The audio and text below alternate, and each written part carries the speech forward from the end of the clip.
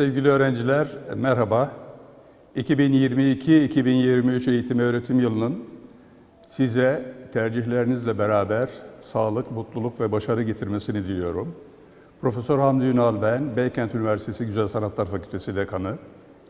Burada fakültemizle ilgili size e, kısa bilgiler vermek isterim. Bizim fakültemizde şu an itibariyle 8 bölümümüz var. Bunlardan dokuzuncusu önümüzdeki sene devreye girecek. İsmi Kişisel Marka Yönetimi bölümü olacak. Kişisel Marka Yönetimi bölümü gelişen süreçte çağımızda artık objenin e, tasarlanması ve tasarımın bir kimlik kazanması anlamında markalaşmayı beraberinde getiriyor. O nedenle önemli bir bölüm olduğunu düşünüyoruz. Gerçi bu sene tercihlerinizde bu bölüm olmayacak belki ama önümüzdeki süreçte, önümüzdeki yıllarda bu tercihi de yapabileceksiniz. Beykent Üniversitesi Güzel Sanatlar Fakültesi e, bu sene 25. yılını kutluyor. İlk bundan 25 yıl önce 1997 yılında Beylikdüzü'nde kuruldu. Sonra Taksim yerleşkesi, daha sonra da Ayaza yerleşkesine taşındı. Tabii kuruluş itibariyle güzel sanatlar eğitiminin temeli olan kuramsal anlatım ve uygulama esaslı bir yöntem izlendi ve bugüne kadar da bu sürüyor.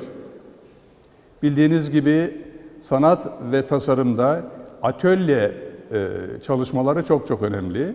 Kuramsal anlatım, kuramsal ifade, e, masaüstü çalışma bir anlamda atölyede, stüdyoda, sahnede kendisine bir yer e, bulmuyorsa bunun bizce hiçbir e, kıymet harbiyesi yok demektir. O nedenle de o nedenle de biz bu e, fakülteyi kurarken öncelikle öncelikle atölyeleri önceledik. Çünkü kuramsalın ötesinde atölye üretimi, atölye çalışması, o dersin hazmedilmesi ve ileriye taşınması anlamında çok önemli bir e, ipucu oluyor. Öğrencilerimizin yaptığı çalışmaları biz hiçbir şekilde 4 ya da 5 yıllık süre içerisinde düşünmüyoruz. Bu çocuklar burada bizim e, misafirimiz diyelim, eğitim aldığımız çocuklarımız, değerlerimiz diyelim. Bunların nihai yaşamları endüstriyle ilgili olacak. Dolayısıyla endüstriye yönelik bağları da çok iyi bir şekilde e, korumak istiyoruz ve koruyoruz da. Burada biz e, stajları bu anlamda söyleyebiliriz. Stajlar bizim için çok çok önemli. Daha önceleri, yıllar önce stajlar alt sınıflarda da yapılıyor olduğunu görmüştüm ben. Yaklaşık ben 11 yıldır bu kurumdayım. E, gördük ki, gördük ki öğrenci üniversitede, fakültede, kendi bölümünde belli bir birikime erişmeden önce e, staja gitmesi ona e, fazla bir katkı sağlamıyor. O nedenle dedik ki bunu 7. yarı yılda ya da 8. yarı yılda yaptıralım stajı dedik. Bunun şu faydası oldu. Birincisi, birincisi öğrenci 7 e, yarı yıl boyunca belli bir birikime sahip oldu. Bir diğer en önemli konu da biz bu stajı 7 ve 8. yarı yıllarda iki, iki defa ayrı ayrı ya da tek seferde yaptırdığımızda çok iyi bir intiba bırakmış ise, çok iyi bir performans göstermişse o e, staj yaptığı yerde kalma imkanını buluyor. Bu, bu bize büyük bir fayda sağlıyor. Hatta e, bizim özellikle moda tekstil bölümü öğrencilerinin endüstride iş bulmaları, belli bir yere e, yerleşmeleri son derece kolay.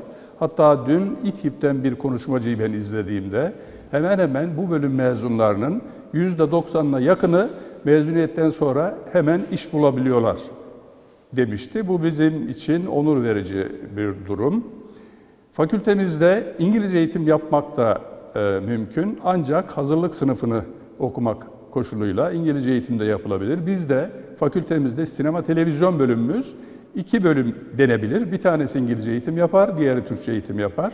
İngilizce eğitim yapmak isteyen de dediğim gibi kurs alarak bu açığı giderebilir. Sevgili öğrenciler, belki şu anda siz yabancı olabilirsiniz bu deyime. Üniversitede artık mezun olduktan sonra tek diploma yeterli olmuyor. E, çap dediğimiz çift anadal Bir de yan dal dediğimiz bir iki unsur var. Çapta yani çift anadalda çift diploma alıyorsunuz. Yani Güzel Sanatlar Fakültesini, fakültemizin herhangi bir bölümünü, grafik bölümü ya da moda tasarım bölümünü seçtiğinizde, okuduğunuzda, grafik bölümünden çap yaptığınızda hem grafikten hem de moda tasarımından çift diploma almış oluyorsunuz.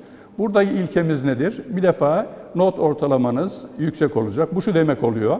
Buradaki eğitim süresi içerisinde e, güçlü bir performans göstereceksiniz. Çünkü iki diploma almak var. Belli sürede iki diploma almak var. Size fazladan bir, bir yıl tanınıyor çift diploma için. Onun için bu çok önemli bir olanak sizler için. Bir diğeri de Yandal. Yandal programı bütünüyle bütünüyle e, sertifikaya dayalı bir program. Ama çift ana dalda çap yaptığınız bölümle ortak dersleri dışındaki tüm dersleri siz alıyorsunuz normal koşullarda ve çift diplomaya sahip oluyorsunuz.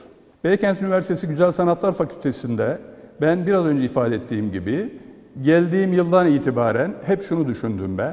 Bir, e, hocaların evet öğrenciden bilgiyi istiyoruz, beceri istiyoruz. Onlara eğitim veriyoruz ama hocalarımız ne durumda? Acaba hocalarımız kendi bildiklerini her yıl tekrarlıyorlar mı? Yoksa onların da e, gelişimleri yönünde bir e, şey var mı? Bir durum var mı? E, ben şunu e, belirledim. Dedim ki tüm arkadaşlara sizler bu üniversitedeki eğitim dışında, fakültedeki dersleriniz dışında lütfen dışarıda da kendi kişisel gelişiminiz için, kendinizi tazelemek için endüstriyle ve sektörle çok yakın ilişkiler içerisinde olunuz dedim. Ve şimdiye kadar da dışarıda iş yapmak isteyen, proje yürütmek isteyen arkadaşlarımıza hep izin verdik. Hep onları destekledik ve hala da destekliyoruz. Hocalarımızda önemli bir unsur, liyakat çok çok önemli. Bazı kurumlarda aşağı yukarı benim 45 yıllık üniversite hocalığım süresince şunu gördüm. Ee, bir hoca diyelim ki kendi alanı dışında başka bir dersi de veriyor olabiliyor. Ee, bu tabii bize e, büyük emeklerle ailelerin teslim ettiği çocukların yetişmesi anlamında olumsuz bir sonuç veriyor.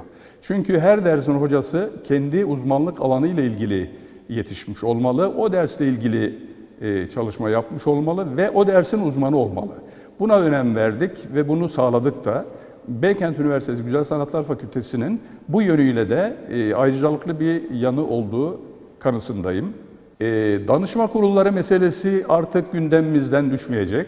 Çünkü danışma kurulları endüstrinin sesi demek, endüstrinin hareketliliği demek, danışma kurullarıyla olan irtibatta, temasta, kontakta, üniversite ile reel sektörün, gerçek sektörün dayanışma içinde olduğunu e, biz ispatlamış oluyoruz. Bu şu demek oluyor, danışma kurulları sürekli canlanacak, sürekli ayakta tutulacak.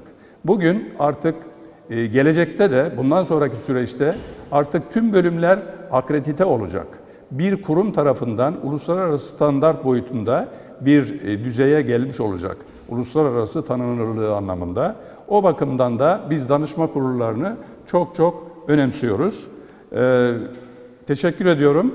Beykent Üniversitesi Güzel Sanatlar Fakültesi olarak önümüzdeki yılda tercihlerinizde aramızda bulunmanızdan büyük mutluluk duyacağımı bu fakültenin dekan olarak belirtmek istiyorum. Hepinize tekrar başarılar diliyorum.